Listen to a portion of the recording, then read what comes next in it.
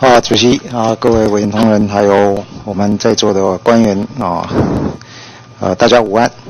呃，主席麻烦请啊发言人，请正发言人。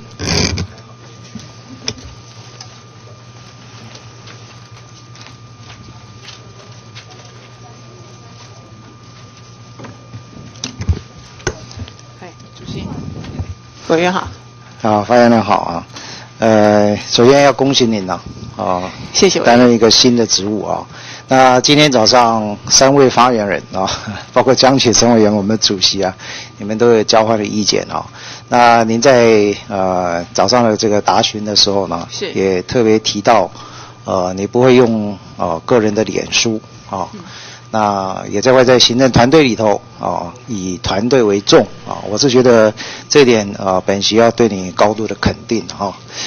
那但是因为你现在的职位呢，呃，其实是呃非常非常的重要了，所以呃我不得不要回想到一段往事啊，来互勉啊，好，呃，你有没有想到呃预想到您今天会担任这个职位？没有，没有哈。我想人的这个呃生涯的这个命运呢，其实是很不一样的。我们两个互换一个位置啊。当时呃为了这个环境教育法呢，您曾经咨询我，啊，那咨询的时候呢，呃我特别有对这个您提的意见呢做了一个说明呢，啊就是对于这个环境教育人员的认证呢，我说我们是认为说以环保署为主了。啊，但是您的提案呢，是各部会都要来共同都可以来认证。目前这个工作呢，事实上各部会啊，其他部会除了环保署以外的认证呢，都啊等候环保署定案，并且形成常轨之后呢，他们才敢接办。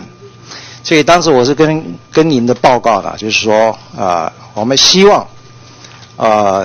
这个认证的办法呢，还是以环保署，免得这个标准不一啊，另出多门。你还记不记得你那时候啊的回应是什么？呃，请请委员提示。你说啊，你那时候的这个答复呢是蛮情绪的啦，哦，你说你说什么屁话？哦，你糊弄我。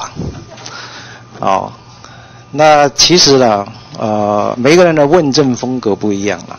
这也就是说，我看到报纸说有人提到您将来当这个啊政府的发言人的时候呢，可能要特别注意到，不要有暴冲的性格啊。但是我相信您以现在的这个历练跟涵养呢，应该不至于了。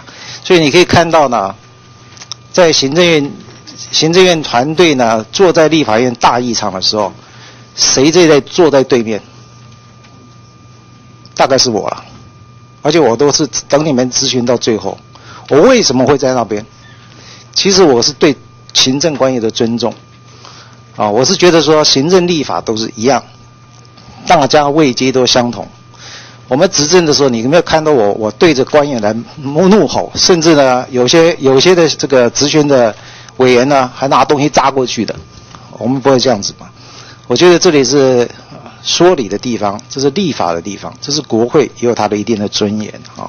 所以我把这一段往事呢，不是说啊，因为我今天换了个位置啊，就像我在卫环委员会，我很少过去啊。有人会认为说你不敢去啊，其实不是啊。我们沈世宏沈组长对我也不是这么的好啊，我也有相当的委屈。啊！但是我不会夹怨报复啊！今天要好好的修理你一顿，我想我不会这样子啊！我们是就事论事的，所以我今天是对你呢谈这一段过去的往事啊，其实是祈勉啊！你在行政团队里头啊，既然是当一个很重要的职位呢，我们希望这个团队呢能够做得更好一点啊！所以等一下呢，请你先留步啊！我要请秘书长啊，请教一下秘书长，再请你来。就我们现在的这个政策啊，来论事一下。来请陈秘书长。好，来请。是委员好，秘书长。最近这个军工教这个啊，我们退退休人员的年终啊，这个呃慰问金的事情啊，呃，很多军工教人员呢，都都有我们非常的啊不高兴了啊。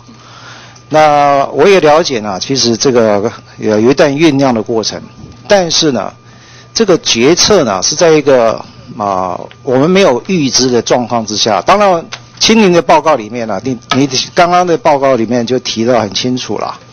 呃，行政院其实开了十几次会议嘛，才最后由院长来拍板定案。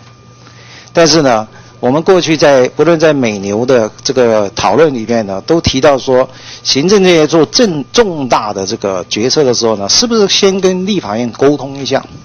哦，但是呢，这一次呢，是在蔡锦龙委员质询的时候呢，院长就积极的答复，但第二天。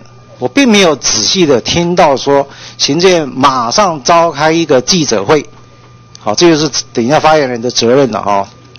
充分的说明，跟我们的军工教人员说，对不起，我们真的是时局不好，进国家的这个情况呢非常的糟糕，我们请大家共同时共体时间，我跟你道歉。但是呢，我们这个是呃您的年终奖金呐，就取今年要取消了。但是呢，我们并不知道，所以外界都认为说，我们这取消呢，这个决策是非常匆促的，而且呢，对军工教人员是非常不尊重的。好，在这种情况之下，也没有一个充分的一个说明。我今天早上才知道，这个取消年终奖金啊，是取消今年而已，是不是？那你们有充分的，你是不是把这一段过程呢，再讲讲清楚一下，跟我们的军工教人员呢，好好的说明一下？是，呃，我跟呃委员做个报告，就是我们的年终慰问金的发放啊，它有三道程序。那第一道程序是我们编入预算，编入预算。那换句话说，就是我们编入，不管是两百零二亿或一百九十二亿，它现在总和算法不一样，就是我们编入明年一百零二年的这个预算。那这个预算呢，现在目前正在立法院审，在在这个审查当中。那么立法。